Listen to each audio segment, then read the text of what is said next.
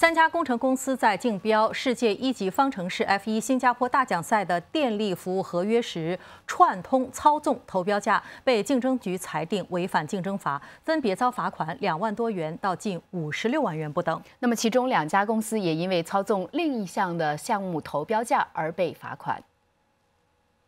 F1 电力服务合约在二零一四年底招标，吸引 Cycler 电子工程、HPH 等四家公司竞标。s e c l e r 电子以最低竞标价赢得为期三年的合约。调查发现 s e c l e r 集团为 HPH 工程和 Picktop 工程制定竞标价，确保他们提成的竞标价比 s e c l e r 集团旗下电子公司高出百分之三十。